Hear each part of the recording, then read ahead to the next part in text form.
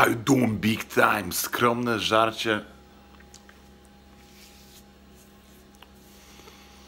How doing big time? Skromne żarcie dla skromnych ludzi.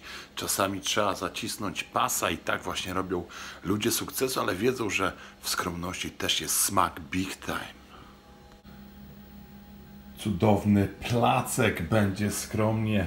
Ciasto wyłożone, ketchup, koncentrat, oliwa, oregano, sól, pieprz, trochę wody. To jest nasz sos. Resztki cheddara dojrzewającego. To jest nasz ser. Można, można. Wszystko jest dobre. Nawet jeśli e, korzystamy z resztek, a to jest kuchnia klasyczna, to jest kuchnia piękna. Tak powstały najlepsze przepisy, tak powstali najlepsi kucharze, nawet tacy domowi, którzy przeszli bardzo mocną metamorfozę, tak jak ja, big time.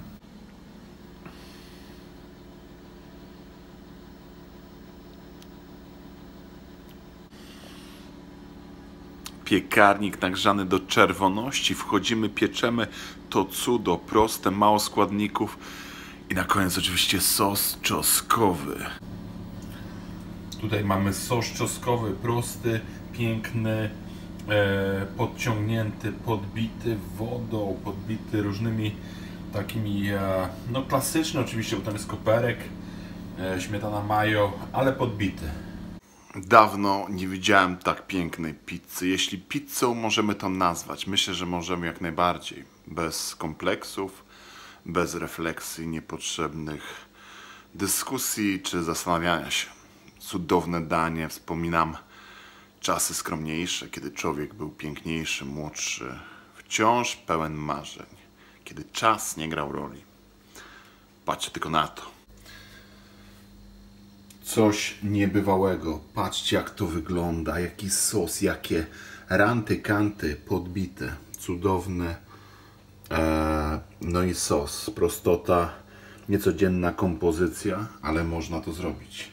Zaraz dodamy oregano i sosu czosnkowego. Będzie nieziemsko.